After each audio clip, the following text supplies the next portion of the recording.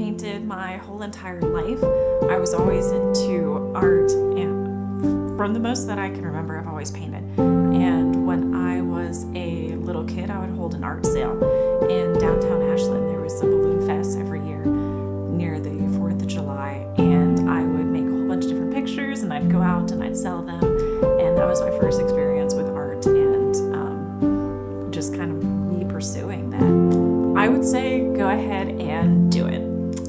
scary, it doesn't make sense.